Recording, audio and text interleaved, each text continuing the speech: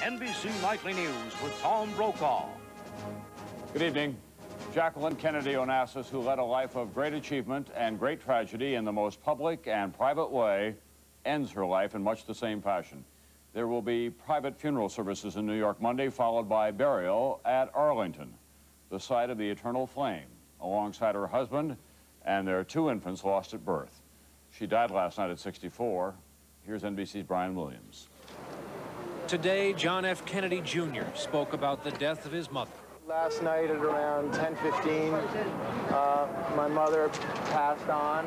She was surrounded by her friends and her family and her books uh, and the people and the things that she loved, and she did it in her own way and on her own terms, and uh, and we all feel lucky for that.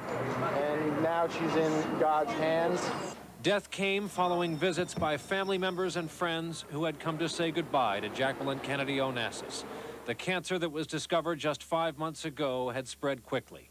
Almost immediately, the now famous Fifth Avenue apartment building resembled a shrine. Hundreds came to see where she had lived and died, where there will be a private wake tonight. All my friends feel very bad today. She's the most beautiful person, but what she went through, Yes. really, sometimes you wonder. In New York and around the country, front page stories added to a palpable sense of national loss. At the White House, where her portrait as First Lady hangs, she was remembered by the President and Mrs. Clinton. Even in the face of impossible tragedy, she carried the grief of her family and our entire nation with a calm power that somehow reassured all the rest of us. If she taught us anything, it was to know the meaning of responsibility to one's family and to one's community. Her great gift of grace and style and dignity and heroism is an example that will live through the ages. While millions of Americans today mourn the former First Lady, overseas the reaction to her death was extraordinary, evidence of the effect her life had had. It's a beautiful image, I think, that remains with us all of this woman who lived much sadness in her life and yet did it with a great deal of dignity. We never saw Jackie Kennedy as a politician. We saw her more as an icon, of an icon of a certain age of elegance, and, and as a role model. I mean, this was in many ways the first, uh, outside of Hollywood, the first American female role model for the rest of the world, uh, for a certain generation. Well, I was terribly shocked and sad that the big cancer had got her. It just seemed very young. At the Kennedy Library outside Boston, a chance for appreciation today. Visitors leaving messages in a book beneath her picture and taking stock of the loss. You're, you're losing part of Camelot. She was, she was the link back to that. And there's always been a fascination by people of that generation and people of my age that weren't really part of that. It, it just seemed like a wonderful, wonderful time in America. And I feel like we're losing a part of it.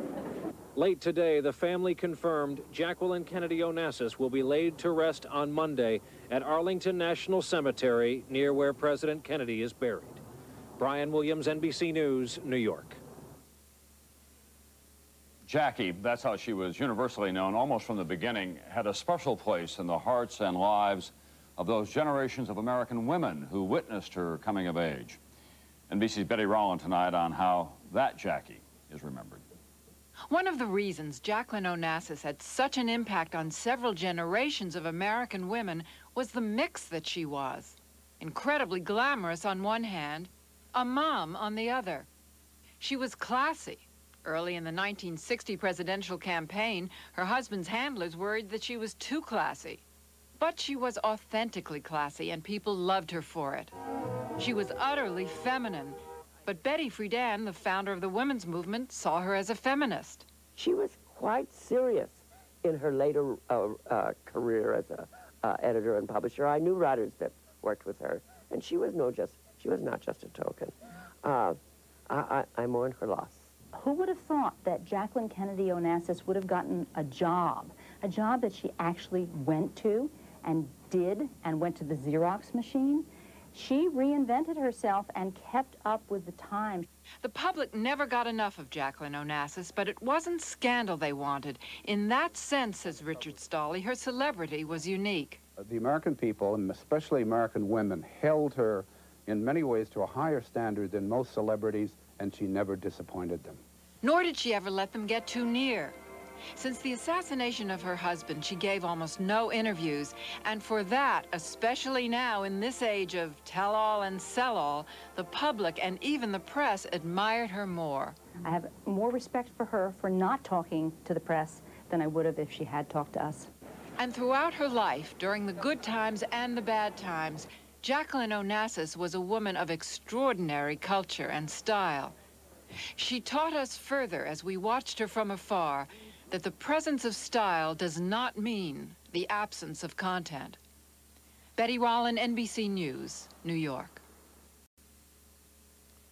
What is there about Jacqueline Bouvier Kennedy Onassis that has kept us so transfixed for so long? Several things, I think. First, she was from another time and place. The old money neighborhoods, polo fields and hunt clubs, the kind of girl featured in Life magazine, out of reach to most young men unless they had the magic and the money of a John Kennedy. And when she became First Lady at age 31, it was a stunning transformation of that ill-defined role, occupied as it had been by grandmothers with permanents and sensible evening dresses. Jackie was more regal than certified royals, more beautiful than most movie stars, more stylish than anyone else in the room. Even those uncomfortable or unhappy with her airs were impressed by her innate sense of grace. Her comportment at the time of the assassination and funeral was the stuff of legends. If we had to go through this awful ordeal, we felt in a way privileged to follow her lead, which made the Onassis business all the more difficult to accept. Ari Onassis seemed only to be about money, we wanted Jackie to keep the flame. What she wanted, she would not say, not even when she became a widow a second time. When the stories of John Kennedy's extramarital activities began to emerge, she began to regain public sympathy, characteristically without encouraging it. Her lifelong cool and elegant style was not shaken, not even by sensational assaults by authors and journalists. Instead, she created a new, intensely private New York life as a book editor. And through it all, she stayed publicly pleasant, never snapping at the ever-present photographers, but never volunteering either. And in this age of celebrity tell-all, in 30 years, the woman who could have told the most never told even the smallest secret in public about her husband and their time together. She was not the girl next door and never pretended that she was. She was her own woman without apology from the moment we met her until the day she died. And we have known very few like her.